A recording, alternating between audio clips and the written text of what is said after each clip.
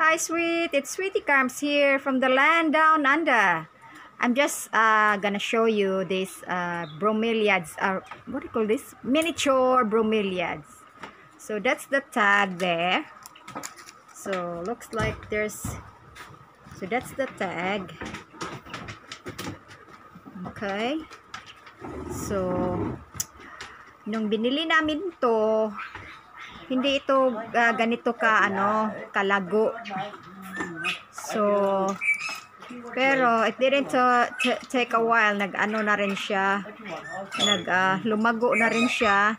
Tapos na itong fern, itong fern na ito, nandito na to nung binili namin to. Uh, isa lang siya, nag-iisa lang talaga yung fern na nandito. Pero tingnan nyo, nakailang ano na, 1, 2, 3, 4, 5, 6, 7, 8. So there's like 8 of them now.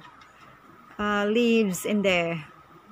So, ito pala yung kasama ng, uh, ito yung parang uh, ina nung nasa ano nasa ano ba yon sa greenhouse ko na na repotted ko so ano na ito yung dito ko sila kinuha so kung ito yung parang plastic ba na sinabi ko ito oh tingnan nyo para siyang kakapain nyo para siyang plastic pero, hindi siya plastic. Tunay siya. Saka, parang iba-ibang variety yata ito na nasa isang pot uh, lang. Iba-iba sila. Tingnan nyo. Oh. Diba? Hmm. Maganda. So, ito, mga anak-anak na to. Gaya nito, oh. Papakita ko sa inyo ito. Pwede na itong tanggalin. Ilagay sa maliit na ano uh, paso. Lagay mo sa paso. Basta maliit lang din siya. Tapos ito pwede na tong tanggalin. Ito pwede itong tanggalin. As you can you can see na ma masyado na silang marami sa isang uh, isang paso.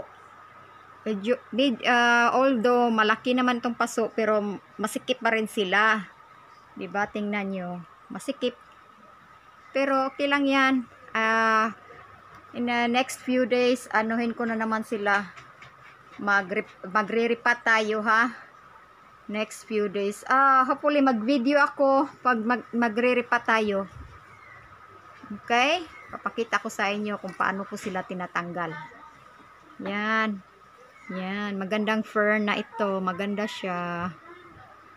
Okay ito ito oh matanda na Tingnan nyo, matanda na to. So, nagkaanak na to. Ah, yan, oh, may anak siya. Ang nangyayari kasi sa ganito mga bromeliads, pag nanganak na sila, yung, yung ina ay namamatay. So, yung, ang maiwan yung mga anak. As you can see, ganyan, oh, may anak siya.